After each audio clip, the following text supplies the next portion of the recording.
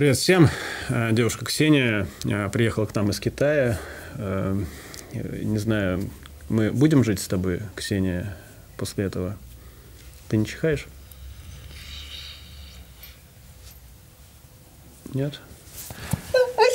Так, ребята, небольшое изменение в планах, да? Я как бы... Я оставлю реквизиты для перевода денег на э, мои похороны. Рост у меня 180 э, метров 85. Это для тех, э, кто хочет делать мне гроб. Я оставлю завещание.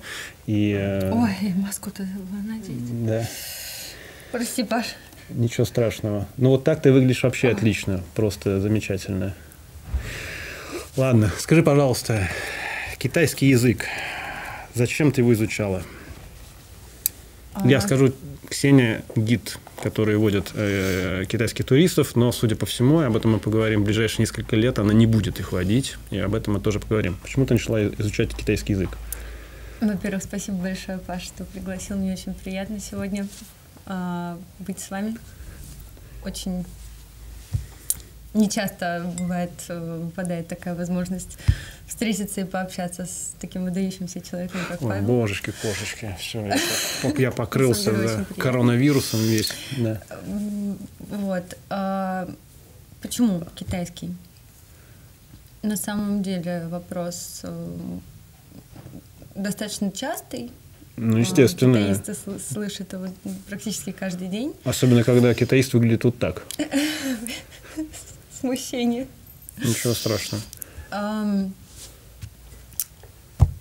китайский. На самом деле цели достаточно прагматичные. Я преследовала э, примерно 10-12 лет назад. Экономика Китая развивалась э, бурными темпами, она тогда рванула э, очень сильно вперед.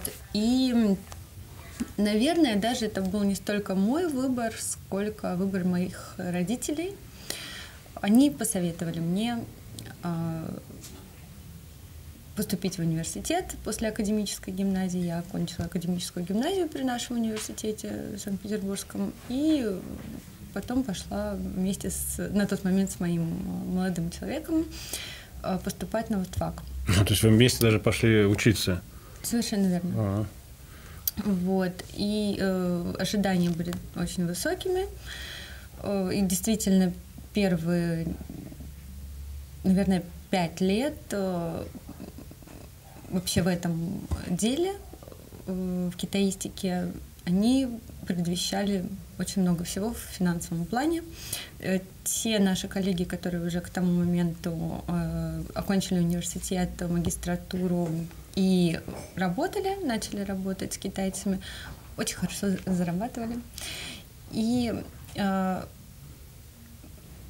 не так все радужно обстояло в э, момент, когда я окончила университет и пошла учиться на курсы э, гидов, mm-hmm. переводчиков, э, национальную школу гидов.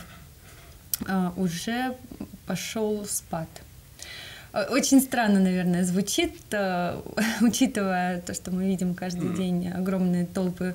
То, что мы видим последние два года, особенно я в Сапсане между Петербургом и Москвой. Верно, в центральных городах. Но это спад. Э, на самом деле э, проблема, наверное, заключается даже не в количестве, том, что э, количество как-то уменьшилось туристов, а в том, как китайцы в Санкт-Петербурге и в Москве э, выстраивают свой бизнес. Вот это крайне э, важный момент, потому что об этом уже много кто писал и говорил, но тем не менее, да, то есть вот эти деньги, они как-то проходят мимо нас, прекрасных россиян. Каким образом, это, каким образом это происходит? Если в о, общих чертах, э, не вдаваясь в, в подробности, угу. э, это серая схема, э, черный бизнес, мафия, как угодно это можно назвать. Э, факт остается фактом, а деньги э, из этого бизнеса не поступают в казну. Угу. Э, а как, как это, это проис... работает? Да, как это происходит? А, группы, а, которые выезжают из Китая, а, деньги оставляют все в Китае. А, все расчеты происходят в юанях на местности. То есть гостиницы, перелеты. Совершенно верно. Рестораны. Рестораны. Даже магазины сувенирные. Это у них такой какой-то all-inclusive трип получается? Все включено. Ага. И они подписывают договор, согласно которому они не могут эм, тратить деньги в неположенных местах. О, как интересно. Я только, этого не знал. Только в тех местах, которые были прописаны угу. фирмой. Угу. И э, турист обязуется потратить определенную сумму денег э, в указанном сувенирном магазине. Mm. Э, соответственно, рестораны, в которых группы такие питаются, они даже не являются точками питания. Согласно э, нашему законодательству, они не имеют права функционировать на территории Российской Федерации как точки общественного питания. А, ну, даже не знаю, можно ли об этом говорить можно. в кадре, но э, факт остается фактом. Это часто взятки. Э, Санэпидстанция, да. да. Э, Божечки, это такое открытие. У нас дают взятки санэпидстанции. Вот это шок-контент. Э, и, соответственно, такие точки просто не проверяют. И э, русским людям там дают отворот-поворот. Угу. Мы туда не можем войти и там, соответственно, принять пищу. А что касается гостиниц, например, где они живут здесь? Гостиницы сейчас уже в центральных городах, в столице и Санкт-Петербурге есть большое количество китайских гостиниц, mm. э, китайские инвестиции, китайский капитал. Э, очень часто в таких гостиницах э, могут проживать в одной комнате э, несколько десятков туристов. Mm. То есть э, такие гостиницы могут функционировать по типу дормов или э, хостелов, но опять же с жуткими совершенно санитарными и всяческими другими условиями. И туристов это нисколько не смущает? Э, туристов это очень сильно смущает. Э, естественно, они на это не подписываются, они заранее об этом не знают. Но они не могут ничего они с этим сделать. жалуются по а. факту уже. А. Они возвращаются в Китай, пишут жалобы, но поскольку этот рынок достаточно не, он растяжим, он не ограничен э, в своих ресурсах. Э, китайцы в любом случае будут ездить, э, и неважно, им в принципе неважно, есть жалобы, нет жалоб, э, эти фирмы все равно продолжают функционировать. И э, не в курсе ли ты, это касается только России или так происходит еще в ряде стран? На самом деле э, и в других странах, и в европейских странах э, существует такая проблема, но в России она более весома. У нас к сожалению, Может быть, потому что гибкая э, система. Проще доступ к сердцу тех, кто сидит в санэпидстанции и всех остальных. Я не хочу сказать, что в Европе не существует взяток, там тоже это все существует, но там это просто, там просто сложнее, на самом деле, сделать, вот и все.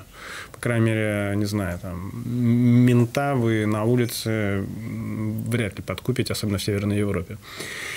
Есть такая ситуации. Да, а у, а у нас это до сих пор возможно. Слушай, ну, как бы на самом деле, то есть я, конечно, такой, вау-вау, это все мне э, рассказывалось, потому что... Ты подозреваешь, что ты об этом Ну, знаешь. да, ну, потому что когда э, заходит речь о привлечении китайских туристов, вот я в Нижнем Новгороде был, то на самом деле я вот даже не, не предлагал этот проект в Нижнем Новгороде, потому что я знал, что деньги поплывут мимо кассы, угу. да, и действительно казна и она, может, и получит что-то, но это будет все такая... Вот. Хорошо, а тогда, что касается...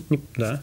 Я прошу прощения, да. маленький момент радостный. Да. Хотела сказать о том, что наконец-то после долгих э, лет борьбы, упорного труда а, наша ассоциация во главе с э, Викторией а, Николаевной Брагачевой и Полиной Рысаковой добились а, того, что 3 марта в первом чтении будет принят закон о гидах.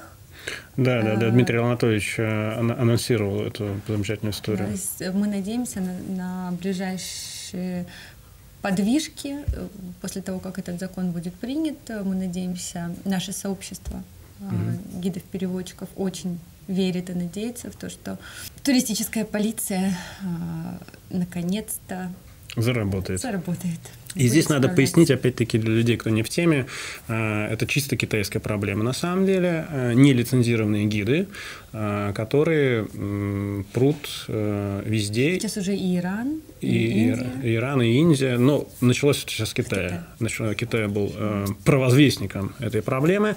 И опять-таки расскажи про этот механизм. Ну, я поясню. Для того, чтобы проводить экскурсии в музеях, в принципе, возможно, вы видели мой не очень ласковый ролик про Эрмитаж, э, вам нужна лицензия. Ну, на русском вы не можете проводить там экскурсию, вам в большинстве музеев у нас э, и в Петербурге, и в Москве. На иностранных языках вы можете, но вам нужно получить лицензию.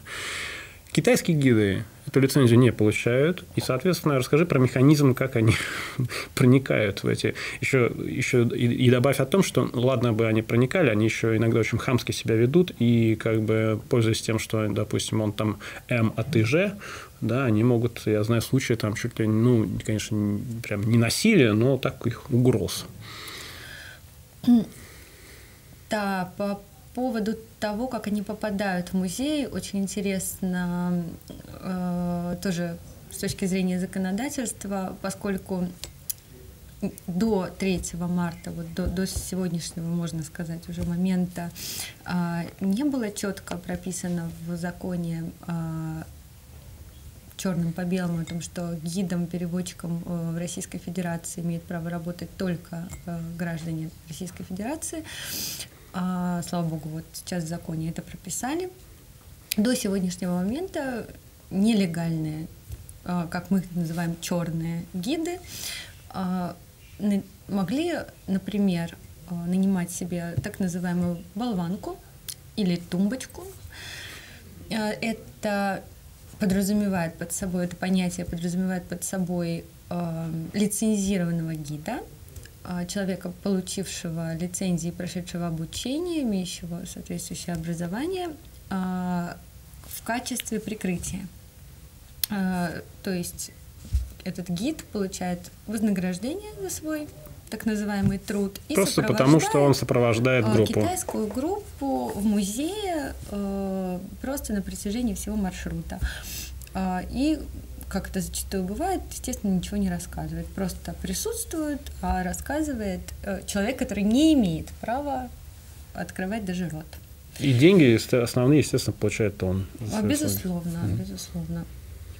А что касается а, отношения к искусству и к нашим а, традициям а, русским, к даже элементарно правилам поведения в музее или э, какое-то базовое уважение к, к нам, к русским, к местным людям. Э, это ну, к россиянам, часто, давай как бы. Э, да, как, как к россиянам, прошу да, прощения. Широкому. Э, часто это просто отсутствует.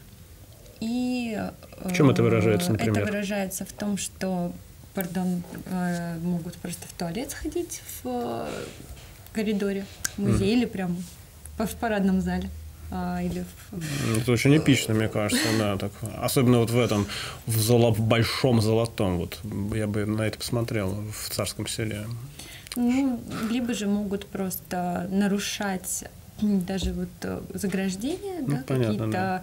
А, которые присутствуют э, перед экспонатами, они могут быть просто отодвинуты, и экспонаты... Попробовать пальцем они очень любят. Экспонаты обязательно все, всегда, каждый день обтроганы толпами китайских туристов, и, естественно, смотрители, они просто не справляются с таким. Они очень любят красочку поколупать. А, но да. дело в том, что э, эта проблема не в туристах, а проблема в гиде, который угу. не может или не хочет, не имеет такого желания и намерения а, предотвратить эту ситуацию. Угу. И очень часто это заканчивается а, плачевными последствиями для самих туристов, потому что вот, например, этим летом, да, ну это не первая абсолютно, конечно, была ситуация, вот турист утонул, а, потому что он просто не знал меры предосторожности. Меры он, безопасности. Он, он, он не был предупрежден. Очень часто, э, поскольку китайцы, у них есть такая особенность, у, у китайцев, у китайских туристов,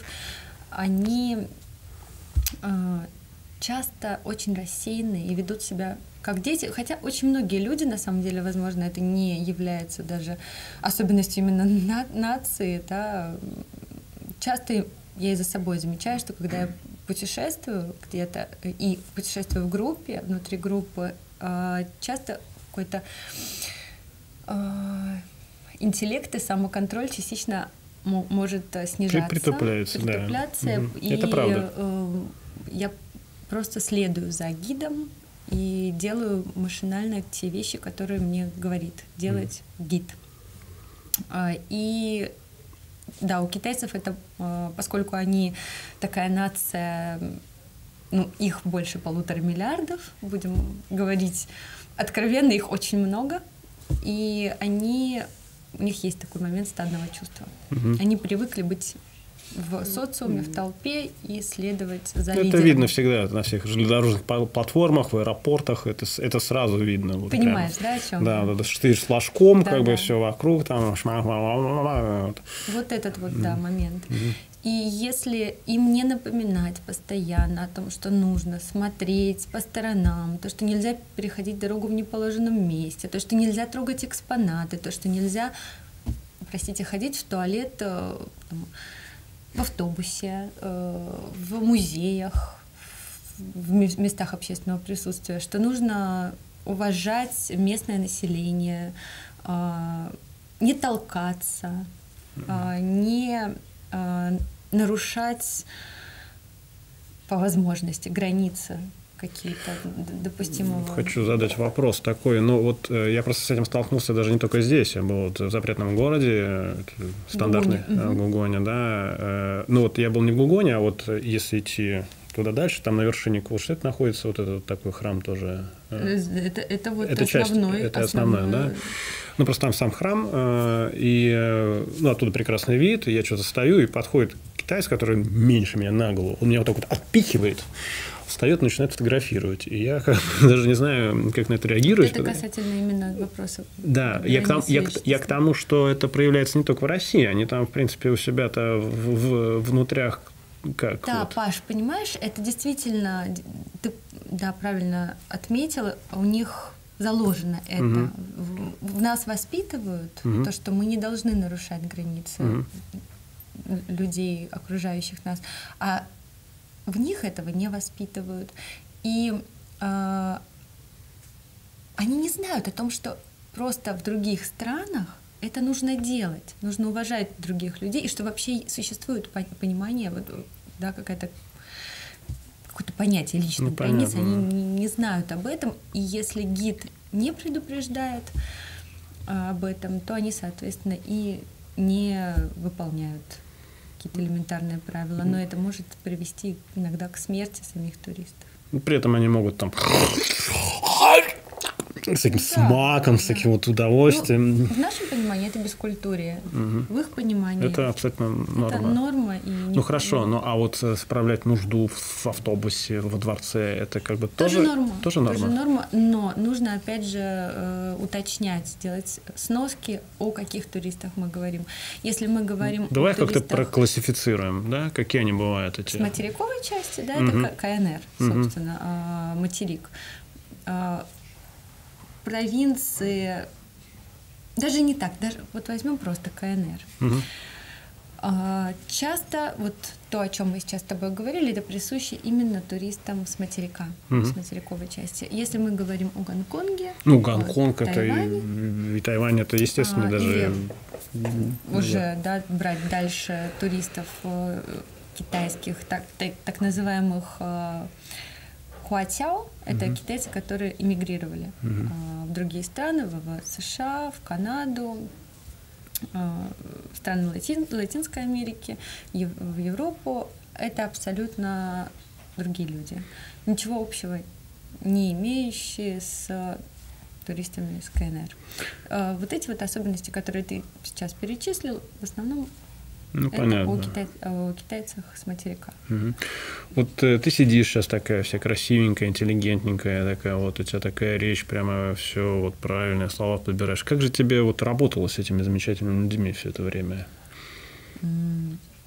Это, наверное, вопрос, который можно задать, не побоюсь этого слова, каждому гиду-китаисту. Угу. А, я думаю, и Сан... не только в Санкт-Петербурге, но и в Москве. Я помню, а... я учился на курсах гидов-переводчиков, с нами тоже была такая красивая блондиночка, а, китайский язык. Я сидел на нее и смотрел и думал, божечки, кошечки, вот уже я представлял эту ситуацию, как, бы, как она будет выходить. Еще она блондинка, это еще mm-hmm. было тогда, когда они еще готовы mm-hmm. были это все за волосы да, трогать. Да. До сих пор готовы. Го- до сих пор готовы, mm-hmm. да. Ну и вот и как ты с этим справляешься? Ну, я понимаю, что это какие-то профессиональные навыки, но тем не менее, да? А, видишь, в чем дело? Нужно просто это знать заранее, к этому mm-hmm. быть либо готовым и уже выходить и работать, а, либо же принимать для себя решение, что ты не готов с этим mm-hmm. справляться. Очень многие уходят первые Вот именно из-за этого, да? Из-за этого фактора. Группы. А если мы говорим про финансовую составляющую, я не, не имею в виду какие-то конкретные цифры, mm-hmm. но там какой-то там порядок Они и очень прочее. разные, потому что... Вот, вот, хорошо, от чего это зависит?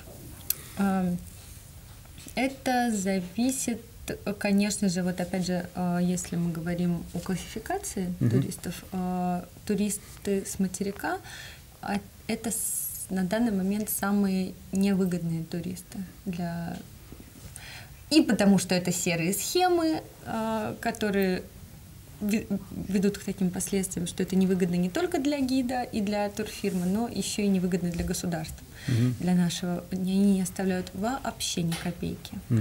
а, в, нашей, в нашей стране. А, это только зарплата, а, как правило, и Без а, чаевых. никаких чаевых, а, никаких бонусов гид не получает с этих групп.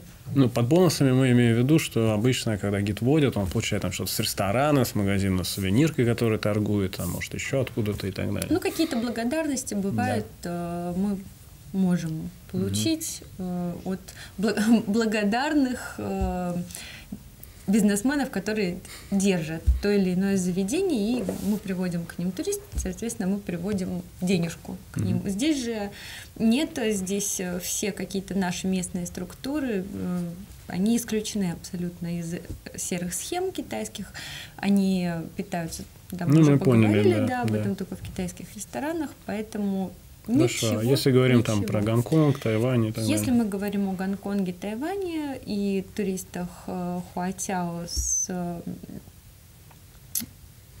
об иммигрантах да, mm-hmm. китайских, они, естественно, уже знакомы с культурой чаевых, и каждый турист, если он доволен обслуживанием, если он доволен э, организацией э, времяпрепровождения в Санкт-Петербурге, если устраивает отношение гида, гид был приветлив, учтив, а, то можно рассчитывать на благодарность в виде чаевых.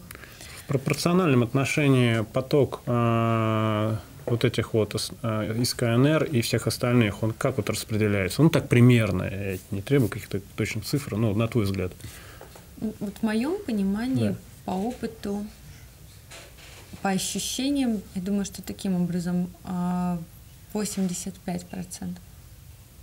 85-87% это материк, материковый э, Китай, и все остальное, 15 где-то, да, 13-15%, э, Тайвань, Гонконг, угу. и другие страны. Ну, получается, что основная часть работы все равно с этими прекрасными людьми, которые... Сейчас, э, прости, что я тебя перебила, да. э, в основном работают на таких группах э, именно нелегальные Нелегалы. гиды. Угу. Да, у русских гидов работы очень-очень мало. Понятно. А, у тебя не было э, в какой-то момент так, такого желания, ну вот, например, наш э, император Николай II японцев ласково называл япошками. И в этом было не столько ласка, сколько ну, действительно такое шовинистское презрение к этим э, людям, которых он еще назвал макашки. Вот э, следуя этой замечательной великорусской традиции, у тебя не было желания как-то посмотреть, сказать, ах ты узкоглазая, и вот как бы плюнуть на все, уйти, и да пошел ты, вот иди утони в Неве лучше. Очень интересный вопрос. Судя по всему, было. Ты знаешь, а, когда ты очень-очень сильно устал, когда ты а, вот прям отпахал, знаешь, пять групп подряд, причем групп так называемых неделек, mm-hmm. когда ты вот только проводил группу, а, семь дней mm-hmm. ее вел, уже сидишь где-то в Старбаксе в аэропорту с э, двойным эспрессо, через час у тебя прилетает еще одна такая же семидневная группа, ты думаешь о том, что... Ну и если там какие-то вредные были туристы, которые выносили мозг, они очень часто выносят мозг, то бывает иногда посещает э, такая мысль, но на самом деле все-таки работа очень драйвовая и заряжает э, вот этот вот обмен какой-то ну, у всех гидов, на самом деле, да. драйвовая работа, поэтому они вот. работают. Хотя по факту, по факту, очень часто профессия неблагодарная, если так вот честно. Да? Вот чем они выносят мозг, например, эти китайцы? Ну, вот то, что ты сказала, mm. они могут э, пытаться как-то тебя потрогать, как-то расспросить тебя. Ой, девочку, слишком... какой красивый, да, такой да, беленький, да, как да, ландыш, да, да, слушай, да, вот вот, машинка да. кататься едем. Вот, вот. Угу. А, очень им интересна твоя вот личная жизнь. Они спрашивают все, буквально там до мелочей, там, а папа, мама, замужем, не замужем, братья, сестры, а, сколько ты зарабатываешь, когда, в какое время ты завтракаешь, обедаешь, ужинаешь, вплоть до вопросов, там, ходил ли ты сегодня в туалет. Mm, интересный вопрос. Вот ты ходила сегодня очень... в туалет? А, ну ты ходила сегодня в туалет, да. И мы, мы знаем об этом. Вот такие вот вопросы порой поступают от туристов, и для неподготовленного человека э, морально, так сказать, это может быть шоком. Хорошо, слушай, я слышал, что в Китае какой-то вирус. Э, не знаю, в курсе ли наши э, зрители. Корона? Корона, на голове моей корона. Да. Как это отразится на индустрии туризма китайского у нас в стране? Проблема очень серьезная как сейчас уже становится понятно, э, статистические данные абсолютно не отражают реальную ситуацию по заболевшим и то есть их там на самом деле гораздо больше. Погибшим людям. И погибших от больше. Э, этого вируса. Поэтому э, правительством Российской Федерации э, было принято на днях решение о тотальном закрытии границы э, с КНР. И э, есть такая вероятность, что китайцы не поедут э, даже не только этим летом никуда, они будут все заперты в Китае, но есть такая вероятность, что это затянется до следующего сезона, это в лучшем случае. При хорошем раскладе до следующего сезона китайцев не стоит ждать. То есть все твои коллеги, которые водят туристов на английском, французском, турецком, э, не знаю, албанском и тарабарском языке могут вздохнуть спокойно теперь. Есть такая вероятность, да. Да, что они будут избавлены от этого. Есть, есть такая вероятность. Хорошо, слушай, ну вот э, последний вопрос. Э, для тебя вообще все-таки, ну ты жила в Китае и прочее, да, вот ты бы как описала бы вот эту страну, вот, э, не знаю, там, Вася из села Кукуева приехал, и про Китай знает только, что там Брюс Ли, вот пуховик у него оттуда, ну вот еще сосед на Лифане ездит, как бы. Вот это, собственно, все его э, понятия о Китае. Ну, то, что у них еще глаза вот такие вот. Mm. Да, вот ты, ну, все-таки вот за это время у тебя же сформировалось какое-то ощущение прочего. Ну, вот, например, в разрезе того, хотела бы ты или нет жить в Китае, и почему? Поняла твой вопрос. Очень важная причина, почему нет – да. Почему бы я не хотела жить в Китае? Это прям основополагающий фактор. А, почему нет? Ужасная экология. Да, это правда. Вот тот отрезок, тот промежуток времени, а, который Все я вот про- провела, провела, вот да, да, вот да, вот. провела в Китае, это 2013-2014 а, года. Я жила в Пекине в основном, mm-hmm. по большей части. Я путешествовала, конечно, но в основном жила в Пекине. И, знаешь, эм, ситуация с воздухом, она примерно в двух словах выглядит так. С понедельника по пятницу ты выходишь из дома, из общежития, протягиваешь руку и практически не видишь свою, mm. свою ладонь. А в субботу, э, воскресенье, когда заводы останавливают свою работу на выходные дни, небо рассеивается. То есть ты можешь даже вот какие-то э, О, кусочки, кусочки да, голубого неба разглядеть в лучшем случае да, угу. на день. Это очень тяжело, и морально это очень тяжело, потому что ну, ну мы здесь в Питере, конечно, да, привыкли, что нету солнца, у нас нехватка витамина D, но там это просто Не, ну здесь это жопа в ноябре-декабре, все-таки где-то да, начиная с второй половины января и февраля, там уже и февраль там уже как-то более-менее. Но это же как-то скажется потом на их потомстве, на онкологии, на всем остальном. Вот мы обсуждали Пока это. что не сказывается. Пока что в геометрической прогрессии Пока не плодятся как э, прекрасные... Да, не буду говорить, а то опять меня обвинят там в фашизме, расизме. Да, прекрасно я к ним отношусь. Я 10 лет изучал восточное единоборство, но съездил туда и как-то он, да, тоже пересмотрел свое отношение к Китаю. Ну, а чем же ты теперь будешь заниматься? Ну, э, я помимо, помимо э, работы гидом еще преподаю угу. китайский язык. Вот, преподаю в школе, преподаю в частном порядке, в университете преподаю китайский, mm. поэтому я думаю, что я буду продолжать преподавать. Uh-huh. Вот, и, возможно, появится время для какого-то хобби, которое впоследствии, может быть, перерастет во что-то большее, в какой-то бизнес, возможно. Стану предпринимателем. Инстаграм-блогерша. Маловероятно. Ну и, ну и хорошо. Вот на этой оптимистичной ноте мы э, Спасибо будем тебе, заканчивать. Сейчас э, будет э, небольшой анонс от меня. Значит, друзья мои, напоминаю, что у нас 2-4 мая тур в город Петербург. А дальше 9 марта, в принципе, группа набрана, но там еще есть пару мест. В Берлин мы едем.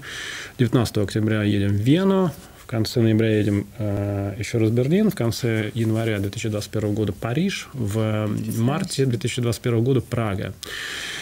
Да, это что касается вот таких глобальных планов. Что касается неглобальных планов, то не знаю, когда выйдет этот ролик, но на всякий случай 1 марта знаковая экскурсия 1 марта 1881 года, убийство Александра II. Это классическая моя экскурсия. Первый раз я провожу ее в такую дату.